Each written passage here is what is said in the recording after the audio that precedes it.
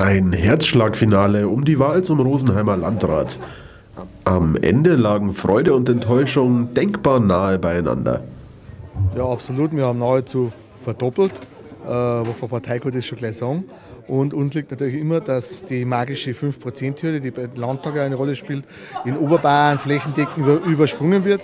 Und das haben wir auch zum Landkreis Rosenheim schon mehrfach geschafft, eben bei der Bezirkstagswahl und jetzt eben bei der Kommunalwahl auch. Also jetzt schauen wir zuerst einmal, dass wir äh, auf der Kreistagslisten unser Ergebnis von Landratskandidatur wiederholen. 7%, das waren wahrscheinlich vier Kreisräte und eben eine eigene Fraktion, Fraktionsstärke. Und dann wollen wir verstärkt wieder in die Oppositionsarbeit einsteigen, äh, die Finger in die Wunden legen. Demokratie, Transparenz, unser Thema, das wird unser Thema bleiben. Das ist wichtig, das gehört dazu. Der Landratskandidat der CSU, Wolfgang Berthaler, blieb am Ende mit 49,39 Prozent knapp unter der 50-Prozent-Hürde. Er muss am 30. März in die Stichwahl. Sichtlich unentschlossen, ob er sich nun freuen oder enttäuscht sein sollte, zeigte sich Berthaler am Abend. Mir geht es genauso, wo man einfach einmal sagt, aber bei sechs Gegenkandidaten habe ich mit dem auch rechnen müssen. Ich habe es ins Kalkül gezogen, weil es ist ja doch verteilt.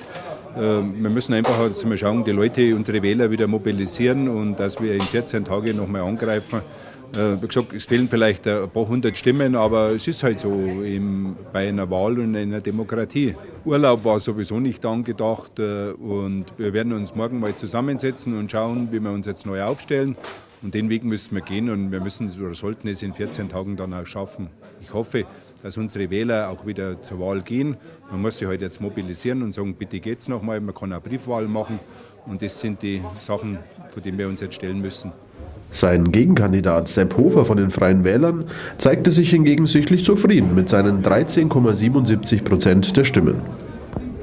Ich bin sehr zufrieden, natürlich, weil ich in der Stichwahl bin, das einmal als allererstes und weil wir es geschafft haben, das erste Mal hier im Landkreis Rosenheim die CSU in eine Stichwahl zu bekommen ähm, die Chancen für die Stichwahl. Gut, bei Stichwahlen hat die Geschichte gezeigt, dass, äh, da hat es schon Überraschungen gegeben.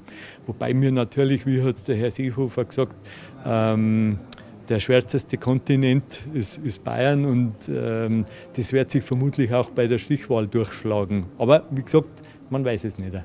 Nun entscheidet also der zweite Wahlgang am 30. März über die Nachfolge von Landrat Josef Neiderhell. Wer am Ende die Nase vorn hat, erfahren Sie natürlich bei rosenheim24.de.